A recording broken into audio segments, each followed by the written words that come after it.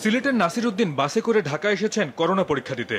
Dubai যাওয়ার আগে বাধ্যতামূলক কোভিড উনিশ পরীক্ষার রিপোর্ট নিতে হবে তাকে।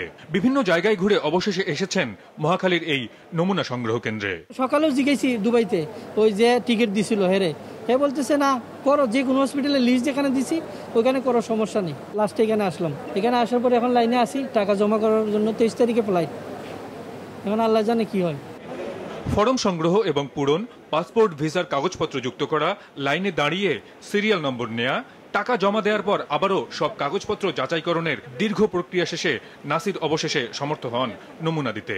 আজই আবার বাসযোগে বাড়ি ফিরবেন তিনি। দেশ ছাড়ার আগে শপিং সহ নানান কাজ রয়েছে তার। আগামী দিনে এসবও সারতে হবে তাকে। অথচ নীতিমালা অনুযায়ী করোনার নমুনা দেওয়ার পর থেকে বিমানে ওঠার আগ পর্যন্ত আইসোলেশনে থাকার কথা তার যা তদারকি করবে স্বাস্থ্য বিভাগ। কিন্তু সেই তথ্যটি পর্যন্ত তখনও তাকে কেউ জানায়নি। কেউ কিছু বলে নাই। এখন কি বাসে চড়বো বাসে চড়ে যাব? তো বাড়িতে গিয়ে যদি আমি আক্রান্ত হয়ে যাই কিংবা যাইতে যদি আক্রান্ত হই তাহলে তো বিপদ। আমাদের যে টাকা ম্যানেজ করা বহুত কষ্টের ব্যাপার এখন। আমরা মানুষের বিবেকের উপর আস্থা রাখি। মানুষ চেতনার উপর আস্থা রাখি দেশপ্রেমের উপর আস্থা রাখি যাতে মানুষ তার দেশের জন্য হলেও সেখান থেকে স্যাম্পল দিয়ে যেয়ে সে আলাদা থাকবে।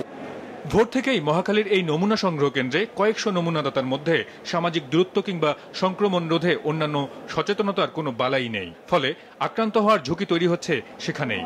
বিদেশগামী কোভিড উনিশ পরীক্ষা প্রত্যাশীদের ভিড় যত বাড়ছিল বাড়ছিল অপেক্ষা আর সেই সাথে অভিযোগও। এক লাইনে দাঁড়াই বের করে দেয় আরেক লাইনে দাঁড়াই। এইটা লাগে ওইটা লাগে very disappointed. Our uh, foreign employees, they very disappointed. Why so long time we are waited এই নমুনা সংগ্রহ কেন্দ্রের ব্যবস্থাপনার দায়িত্ব আজ সকালে দেয়া হয়েছে সেনাবাহিনীকে দায়িত্বে থাকা কর্মকর্তা সাক্ষাৎকার দিতে অপারগতা প্রকাশ করলেও জানান শুরুর খানিক অব্যবস্থাপনা কাটিয়ে শীঘ্রই সবকিছুই শৃঙ্খলার ভেতর নিয়ে আসবেন তারা আজ সারাদিনে সপাচেক বিদেশগামীর নমুনা সংগ্রহ করা হয়। আর গতকাল নমুনা দেয়া একশো ষাট জনের মধ্যে আগামীকাল দেশ ছাড়বেন এমন একশো বারো জনকে কোভিড উনিশ পরীক্ষার রিপোর্ট দেয়া হয়। মাঝহার মিলন, মাছরাঙ্গা সংবাদ, ঢাকা।